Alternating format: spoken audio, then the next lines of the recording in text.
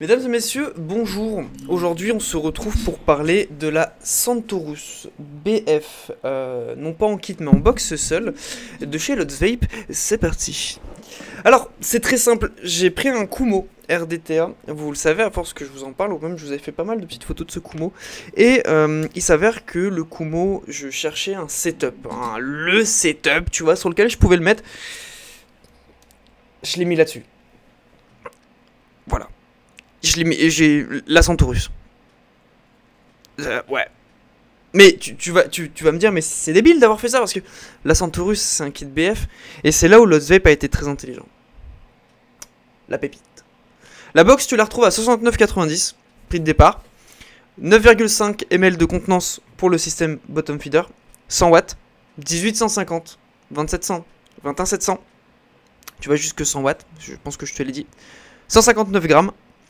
Euh, diamètre de 28 mm, donc tu peux faire passer ce que tu veux dessus.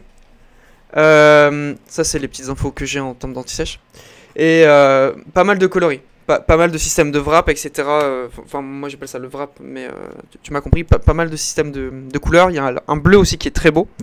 et avec le justement le, Kumo, ça rend ce setup là que personnellement je trouve magnifique.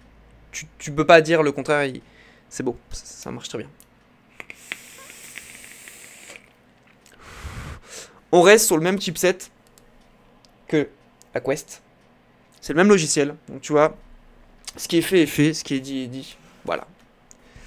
La boîte ressemble à ça. Et en fait, le, truc qui a fait que je l'ai prise, euh, de par l'esthétique, je me suis dit oui mais merde, c'est pas une BF, ça va me, faire chier de trouver un Atto euh, BF. Et euh, au final, Lots Vape a fait un système trop bien. Alors, trop bien, mais chiant pour certains, et je ne comprends pas ce genre de personnes. En fait, tu as une petite cartouche BF, tu vois, et t'en as une autre, qui ressemble à ça. Et là, tu te dis, putain, il y a du liquide dedans. Pourquoi? C'est du BF. En fait, ils te fournissent une petite fiole euh, de 9,5 ml, du coup, euh, pour transporter et remplir ton réservoir en cas de dèche. Euh, T'es dans la rue ou autre, ça te le remplit. Tu vois, et t'as même un, petit bloc en plastique qui est devant pour éviter de, se conquer euh, par accident. C'est aimanté. Que demande le peuple? Et après, t'as l'autre système, où là c'est par contre du vrai BF, qui ressemble à ça du coup, la box brute. Et en fait, beaucoup de personnes disent oui, mais c'est chiant euh, à remplir, etc. C'est méga chiant. Putain, c'est méga simple surtout. T'as juste besoin, c'est de dévisser la partie du haut tac, tu remplis. Enfin, tu, peux même remplir par le bas si tu veux. Euh, tu, peux faire ce que tu veux en fait avec cette, euh, box. C'est du grand, euh, c'est du grand n'importe quoi. Alors non pas négatif hein, quand je dis que c'est du grand n'importe quoi. C'est juste que c'est un système très bien d'avoir fait un système de skunk fermé pour juste l'utiliser en termes de fiole de transport.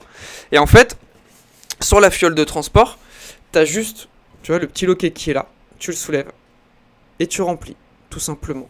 Là, c'est du 20-80 dedans, pas de problème. Bien au contraire, ça coule euh, tout seul. Pas de problème de remontée de liquide, euh, parce que bah, du coup, c'est protégé, vu que tu as une petite opercule en plastique qui est située juste là. Le focus ne se fait pas. Mais tu as une petite opercule en plastique qui est juste là. Tu prends, tu ranges. Le Kumo, c'est un atto que euh, je ne voulais pas au départ. Je cherchais juste un petit truc simple coil euh, où je pouvais faire du MTL, où je pouvais faire du DL, du... où je savais moi-même pas ce que je voulais faire et on m'a conseillé Skumo. En mode, bah vas-y, mets tes triple fusette Fumitech. Euh, ça me fait tomber à du 0.3 euh, 0.3 en simple coil, je vais pas à 45 watts, c'est déjà très bien. Et en fait, le gros avantage, c'est que sur le Kumo, hop, tac, et t'as juste à le remplir par là. Ça se fait en 2-2. Bon, là, j'ai déjà rempli la cuve, donc le refaire. Mais euh, ça se remplit en 2-2 et c'est plutôt positif. En termes de prix, 70 balles. Tu peux te dire, c'est cher. Tu peux te dire, c'est du Lots Vape. Tu sais pourquoi tu payes. Euh, les, matières premières sont très bien. T'en as pour ton argent euh, au niveau de la machine, au niveau des finitions pour le design. Parce que je te dis, il y a vraiment moult couleurs. Alors, il y a combien de couleurs précisément? Il y a une, deux, trois, quatre, cinq, six couleurs différentes. Et euh, ouais, tip top. Rien à dire là-dessus. Franchement. Le, seul petit point négatif, je pense que c'est un défaut de la mienne. Ça m'étonnerait que ça soit ça sur toutes les Centaurus euh, Quest. Euh, c'est que le pin bouge pas mal et Ouais, je pense pas que ça se voit. Mais du coup, le lato berloque de temps en temps. Je pense que c'est un défaut de la mienne parce que sur la Quest, je ne l'ai pas ce problème-là. Et euh, je pense juste que c'est un problème et que ça partira peut-être en SAV un jour. Euh, mais oui, box monstrueuse, euh, en prise en main monstrueux. Juste en dessous, tu as la trappe pour la Q, 21700, 2700, 1850. 45 watts, 21700. Tu, tu les prends très très facilement. Il y, y a zéro problème avec ça.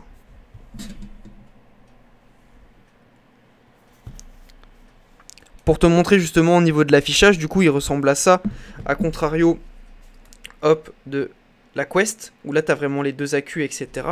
Là tu verras du coup ton seul accu et en 0.32 ohm. Mais du coup ça reste vraiment le même principe, hop, euh, pour changer les couleurs, etc.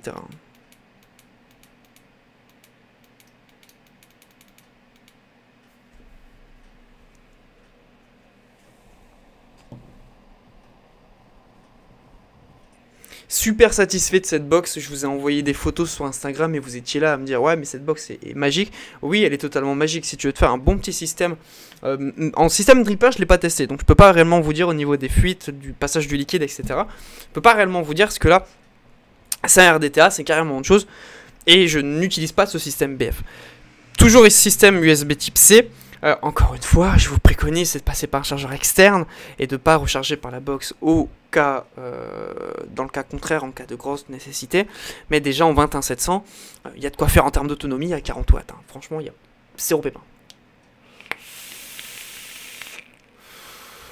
La seule chose que j'ai faite, comparé à, à la TeleMaQuest, c'est que j'ai baissé, j'ai mis la luminosité au minimum. Je trouve l'écran un peu plus lumineux, euh, ou après c'est juste dans ma tête, hein. mais euh, je trouve l'écran un peu plus lumineux. Donc full allumé, là tu le vois un peu mieux, mais je le trouve plus lumineux que sur la TeleMaQuest. Et du coup, dans le doute, bah, j'ai tout mis au plus bas. Comme ça au moins je suis sûr d'être bon en autonomie. Euh, c'est un, nouveau, euh, un nouveau setup que j'utilise beaucoup dehors parce que du coup ça évite de trimballer la TeleMaQuest. Et euh, moi qui commence à devenir fan de chez Lots Vape, du matos, etc. Et surtout de la fiabilité du matos, celle-ci, plus à la maison ou au boulot, celle-ci plus dehors parce que c'est beaucoup plus lage. Alors même si elle fait son poids, 160 hein, grammes, euh, box seul, hein, euh, ça reste pépère. Il faut savoir qu'elle existe en kit avec le dripper Centaurus qui est à 90 euros ou 89,90 euros, un truc comme ça euh, sur internet également.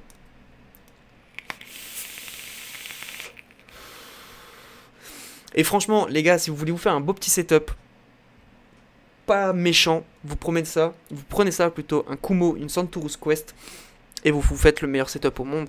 Je trouve que même en termes de design, je suis amoureux de ce setup. Franchement, ça fait longtemps que j'ai pas eu ce, setup qui te fait même penser, si tu retires le côté Lots Vape et le côté Centaur Quest, qui te fait limite penser à un setup euh, haut de gamme en fait, euh, alors que pas réellement, mais euh, ouais, petit top. On cesse là-dessus, j'ai rien d'autre à dire à part vous dire, les gars, le matos c'est vraiment tip top. Foncez, prenez-le. C'est pépite, c'est foncez, foncez à fond. Je, je fais plus réellement de revues où, je décrypte le matos en soi, etc., etc. Parce qu'au final, tu tapes le nom, le prénom de la machine, ou son pseudo, ou ce que tu veux, et t'as 40 milliards de revues où les mecs ils se disent tous la même chose, et le montage tu l'as en 45 fois différente. Je te donne juste mon avis consommateur. Voilà ne faisons plus réellement de vidéos en collab avec les gens, c'est juste mon avis consommateur. Et mon avis consommateur te dit fonce frérot parce que là tu, loupes une pépite. Sur Insta, je vous tiendrai au courant euh, par rapport au pin. Ça m'inquiète, ça m'inquiète parce que ça fait 2-3 jours que c'est comme ça et ça s'arrange pas dans le temps. Donc je vous tiens au courant par rapport à ça, promis. Et euh, voilà, foncez sur ce setup parce qu'il est putain de classe, franchement. Oh là là. Et la pépite, je suis content de ce setup. Franchement, ouais. Ah ouais, non, il est trop bien. Il est trop bien. Allez, je vous laisse. Prenez soin de vous. Une agréable après-midi, une agréable journée, une agréable matinée ou ce que vous voulez. C'était Théo. Cette vidéo sortira le dimanche. Je vous souhaite un agréable dimanche pour le jour férié du lundi. Bon repos à ceux qui sont de repos. Bon courage à ceux qui travailleront en ce jour férié. C'était Théo. Prenez soin de vous.